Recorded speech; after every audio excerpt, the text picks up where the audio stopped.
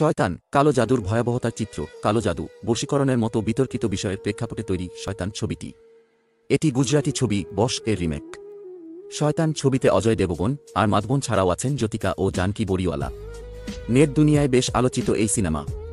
বাতিটাতি নিভিয়ে পুরো সিনেমা এক নিঃশ্বাসে দেখে ফেলার মতো সিনেমা এটি। ছবিতে একটিও নিস্তেজ মুহূর্ত নেই। ভিলেন হিসেবে মাধবনের দুর্দান্ত অভিনয়। পাশাপাশি অজয় দেবগন, জ্যোতিকা আর বাচ্চারাও খুব ভালো অভিনয় করেছে। ভালো দৃশ্যায়ন ব্যাকগ্রাউন্ড মিউজিক সব মিলিয়ে ভালো থ্রিলার হরর সিনেমা শয়তান, ছবিতে দেখা যায় শয়তান এর দৃষ্টি পড়েছে একটি ছোট্ট মেয়ের দিকে, যাকে সে নিয়ে যেতে চায় আপন ধ্বংসের ভুবনে। শয়তানরূপী মাধবনের অট্টহাসিতে যে ভয়ঙ্কর ছবি লুকিয়ে আছে, তা শুধু ছবিটি যারা দেখেছেন, তারাই বলতে পারবেন। সামান্য ফোন চার্জের অজুহাতে বাড়িতে ঢুকে পড়ে মাধবন। তারপর শুরু হয় ধ্বংসের খেলা। শয়তান এর কথায় ওঠবস করতে থাকে মেয়েটি। এরপর কি ঘটে তা জানতে দেখতে পারেন থ্রিলার হরর ধাঁচের সিনেমাটি। গত আট মার্চ ভারতের মহাশিবরাত্রির ছুটির দিনে হরর থ্রিলার ধর্মী সিনেমাটি হলে মুক্তি পাওয়ার প্রথম দিনেই বক্স অফিসে তাক লাগিয়ে দিয়েছিল। বিকাশ বেহেল পরিচালিত সিনেমা শয়তান প্রায় দুই হাজার আটশো প্রেক্ষাগৃহে মুক্তি পায়।